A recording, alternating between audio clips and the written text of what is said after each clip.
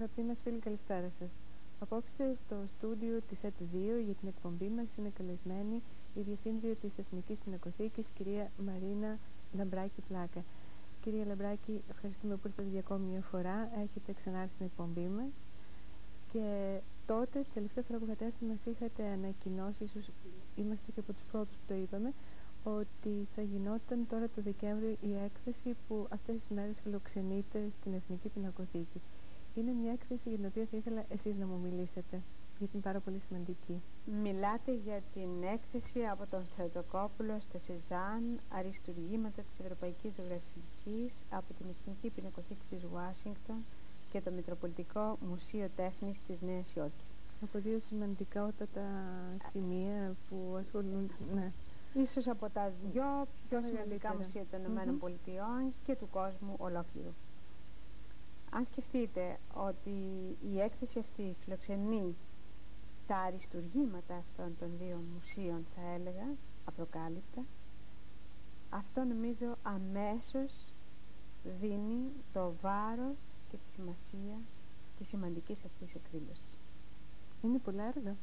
Είναι 72 έργα που αντιπροσωπεύουν 48 καλλιτέχνες, τα πιο μεγάλα ονόματα της ευρωπαϊκής τέχνης για τρεις αιώνες.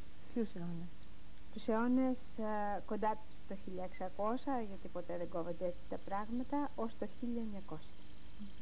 Η επιλογή αυτών των έργων πώς έγινε και από ποιους; Η επιλογή αυτή άρχισε να συζητιέται από τότε που άρχισε να αποκρισταλώνεται η ιδέα της ανταλλαγής ε, με τις ΗΠΑ, δηλαδή από τότε που η πολιτική ηγεσία αποφάσισε να προχωρήσει σε αυτή την ανταλλαγή στέλνοντας τα αρχαία για να γιορταστούν τα 2.500 χρόνια της ελληνικής δημοκρατίας οπότε αρχίσαμε να σκεφτόμαστε τι θα έπρεπε να ζητήσουμε που θα ήταν αν όχι εισάξιο γιατί ποτέ δεν μπορεί να βάλει κανείς στη ζυγαριά αυτά τα λειτουργήματα mm -hmm. τουλάχιστον αντάξια. Mm -hmm.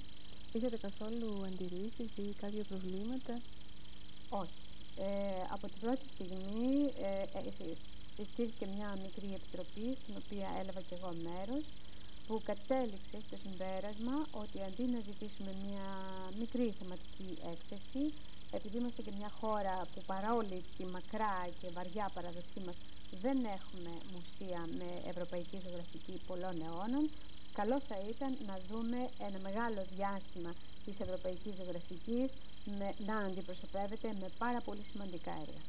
Υπάρχουν μέσα και Έλληνες μια που μιλάμε για ευρωπαϊκή ε, Βέβαια, υπάρχει ο Θεοτοκόπουλος που ανοίγει την έκθεση και δεν είναι καθόλου τυχαίο ότι βάλαμε τίτλο στην έκθεσή μας από τον Θεοτοκόπουλο στο Σιζάν, όχι μόνο γιατί ο Θεοτοκόπουλος είναι Έλληνας, αλλά γιατί οι τελευταίες έρευνες έχουν αποδείξει τον μεσολαβητικό ρόλο του Σεζάν για την κατανόηση του έργου και των οικαστικών κωδίκων του Θεοτοκόπουλου από την νεότερη τέχνη και ιδιαίτερα από τον Πικάσο και τον Κυρισμό.